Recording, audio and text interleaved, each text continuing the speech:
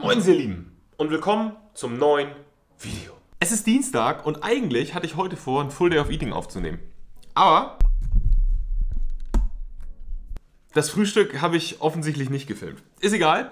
Deswegen heute mein Mittagessen. Feier ich auf jeden Fall. Das sagenumwobene Cheat Meal von Daniel Total in seiner Diät, was es ihm ermöglicht, einfach unfassbar tolle Fortschritte in seiner Diät zu machen. Aber dazu müssen wir natürlich erstmal festhalten, was überhaupt Fortschritte in der Diät heißt. Das heißt, wir sehen hier einmal das Startgewicht in der ersten Woche der Diät, beziehungsweise sogar ein paar Tage vorher.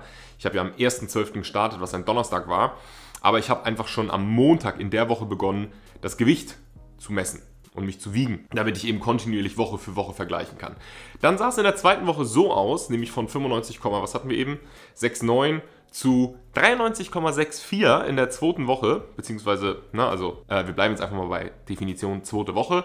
Das heißt, wir haben hier schon einen großen Job von 2 Kilo gehabt. Das ist ja, habe ich jetzt schon mehrfach gesagt, am Anfang immer so. Ja, weil das ganze Wasser, was eingelagert ist, erstmal rausgeht und so weiter und so fort. So, dritte Woche war dann im Prinzip äh, ja, eine leichte Veränderung nochmal auf knapp 93, also nochmal so roundabout 600 Gramm. Dann in der Woche, wo die Feiertage anfingen, also 24. und 25., wo ich schon in Anführungszeichen nicht mehr so wirklich getrackt habe, ging es im Schnitt trotzdem noch ein kleines bisschen runter.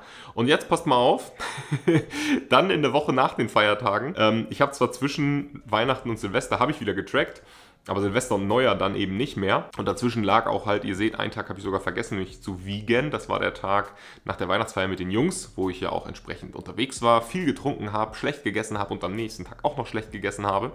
Das heißt, wir sind von 92,6 auf knapp 94 in der Woche. Ja, aber was ihr dann auch sofort wieder seht, letzte Woche dann ist es direkt wieder richtig krass runtergegangen. Ja, das heißt, wir sind jetzt so im Schnitt bei 92 und auch diese Woche blende ich hier jetzt auch nochmal ein mit 91 8,9 äh, ja, relativ im Schnitt. Das heißt, wir sind jetzt in der siebten Diätwoche.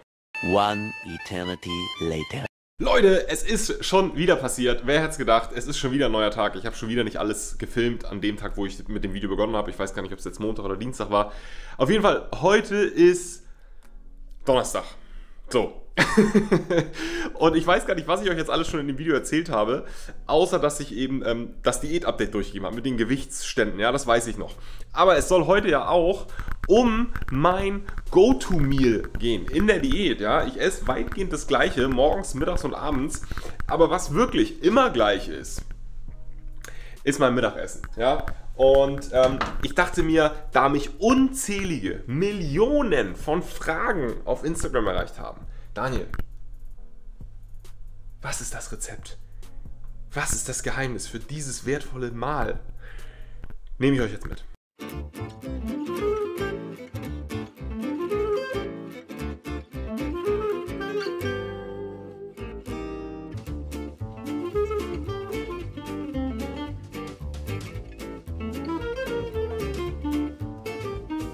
So, während die Pfanne noch heiß wird. Also, ich habe ja schon im letzten Video gesagt, ja, Geheimzutat 1, gutes Bio-Rinderhack. Nicht zwingend Bio, aber gutes Rinderhack. Und damit meine ich nicht das von Rewe von der Theke, sondern von eurem Metzger des Vertrauens. Ja, am besten von regionalen Tieren und so weiter und so fort. Nicht am besten, aber für mich ist es so die beste Variante. Für mich schmeckt es am besten. Ich habe mir hier ein, zwei Anlaufstellen gesucht, die passen für mich. So, dann habe ich entweder Karotte, wie ihr gerade gesehen habt, oder Paprika ist für mich irgendwie, sind für mich die coolsten Gemüsesorten, die ich mir damit das so reinknall. Und dann kommt es natürlich auf die Gewürze an. Ja, also, ganz klassisch Salz natürlich. Macht da nicht so ein Hackback mit, ja, ich nehme nur Himalaya-Salz. Es ist Salz, okay? Übertreibt nicht. So, schwarzer Pfeffer, Basilikum hier nur von Rewe. Normalerweise achte ich darauf, dass ich irgendwie so eine, so eine bekanntere Marke hole, weil ich bilde mir ein, dass das besser schmeckt. Wahrscheinlich ist es Quatsch, aber ich bilde es mir ein. So, also Basilikum ist für die Möhren. Paprika, rosenscharf, ja, gerne in rauen Mengen für das Hack. Und Majoran. Majoran war irgendwann mal so ein, ich hatte mal so ein Fertighack-Gewürz und da stand Majoran und Thymian dran. Und da habe ich beide mal ausprobiert und Thymian finde ich auch nice, aber Majoran ist für mich wirklich der Shit. Also Paprika und Majoran. Die Kollegen braucht ihr für euer Hack.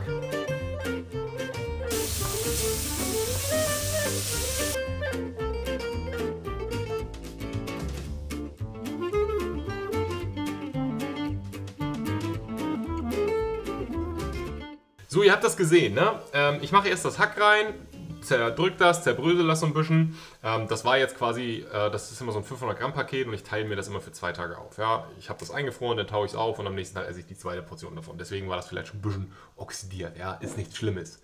So, da haue ich das da rein, dann haue ich die Möhren dazu. Relativ hohe Hitze, damit das direkt auch ein paar Geschmacksröstaromen äh, kriegt. Salz, Pfeffer, Gewürze habt ihr gesehen. Und dann mache ich den Deckel drauf und nehme das relativ schnell von der Hitze, also ist jetzt schon von der Platte runter, ja, damit das schön saftig bleibt und nicht austrocknet. Und auch den Reis, ich habe jetzt hier diesen mediterranen Expressreis. Normalerweise koche ich mir eigentlich immer Beutelreis vor. Ähm, habe ich irgendwie diese Woche keinen Bock drauf gehabt, deswegen Expressreis. Nehme ich mal den mediterranen, mal den normalen Langkornreis, den ich sogar ein bisschen leckerer finde tatsächlich. Weil er halt einfach ein bisschen neutraler schmeckt und dann die Gewürze geiler durchkommen. Ja, also am geilsten ist es wirklich mit neutralem Reis, nicht mit vorgewürztem Reis, aber geht natürlich auch. Aber den Reis, nicht zu früh da reinpacken, sonst wird der Saft aufgesogen vom Reis und dann wird das trocken.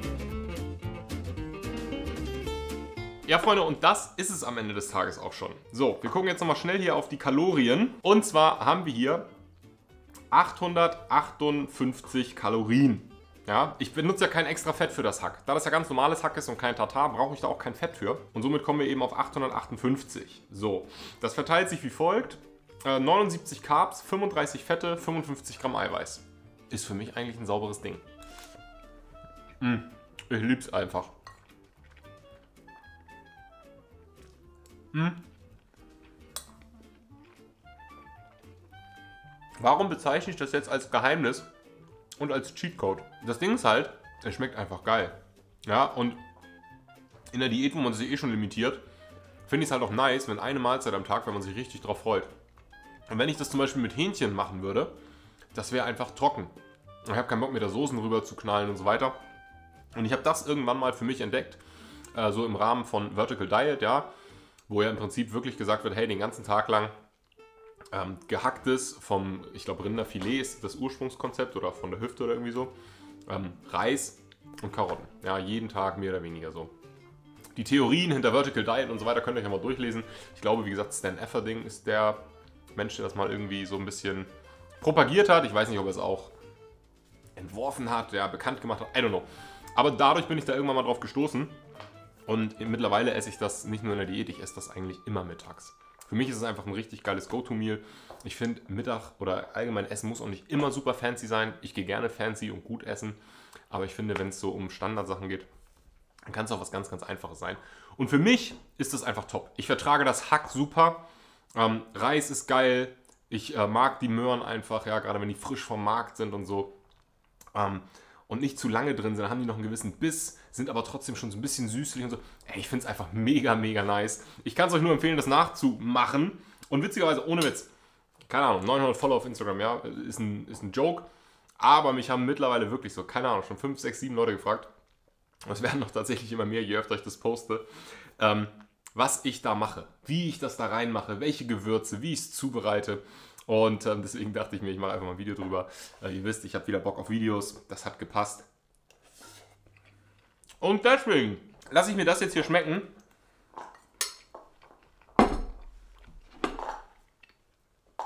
Diät läuft. Und ich sage, besten Dank fürs Zusehen und bis zum nächsten Video. Peace. Auch schnell hier Foto für Instagram machen.